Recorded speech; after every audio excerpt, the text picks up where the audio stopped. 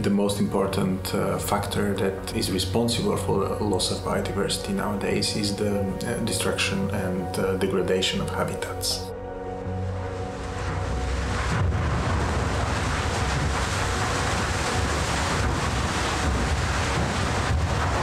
The plant uh, Lengfurt, we um, have um, 116 full-time employees here, and we are one of three plants of Heidelberg Cement which are located in the south of Germany.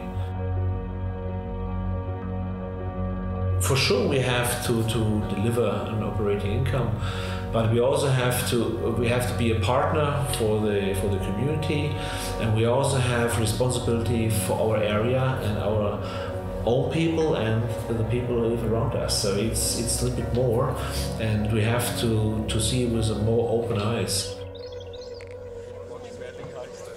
My name is uh, Hartwig Brunner. I'm 58 years old and I'm doing this uh, honorary based job uh, since about 30 years.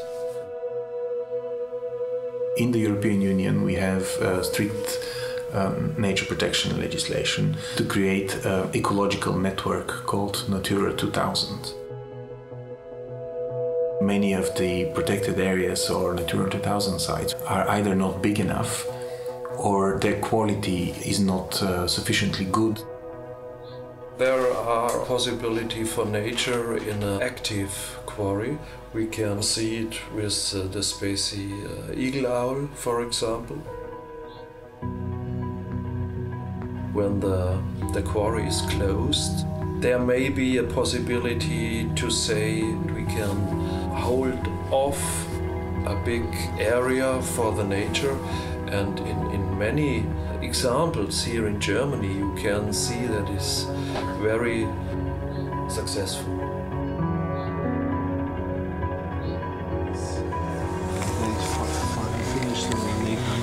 So it was closed in 1996.